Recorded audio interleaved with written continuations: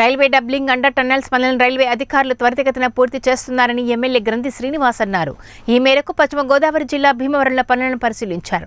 ఆయన మాట్లాడుతూ railway doubling నిర్మాణం వల్ల తీర ప్రాంతం పెద్ద ఎత్తున అభివృద్ధి చెందుతుందని అన్నారు. భీమవరం నుండి విజయవాడకు రెండు గంటల్లోగా చేరుకోవచ్చని తెలియజేశారు. దీనివల్ల తీర ప్రాంతం నుండి ఎగుమతులు మరింత పెరుగుతాయని అన్నారు. అలాగే పట్టణంలో ప్రస్తుతం జరుగుతున్న అండర్ టన్నెల్ పనులను వేగవంతంగా పూర్తి చేస్తున్నారని ఈ పనులు పూర్తయితే పట్టణానికి మరింత శోభ చేకూరుతుందని అన్నారు. అదే మాదిరిగా తాడేపల్లెగూడెం రోడ్డులో విజయలక్ష్మి సినిమా థియేటర్ వద్ద మరో అండర్ గ్రౌండ్ బ్రిడ్జిని నిర్మిస్తున్నామని అన్నారు. రైల్వే అధికారులు రేయింపవళ్ళు ఈ పనులను పూర్తి చేసే దిశగా చర్యలు తీసుకోవడం అభినందనీయమని అన్నారు. అండర్ టన్నెల్ పనులు పూర్తయిన అనంతరం రెండు వైపులా కూడా రోడ్లు నిర్మిస్తామని తెలిపారు. అదే మాదిరిగా town railway station junction railway station ఆధునీకరించాలని railway అధికారులు కోరడం జరిగిందని అన్నారు. ఆయన వెంట railway VML manager Surappa Srinivas తహసీల్దార్ ఏవి రమణారావు తదితరులు పాల్గొన్నారు.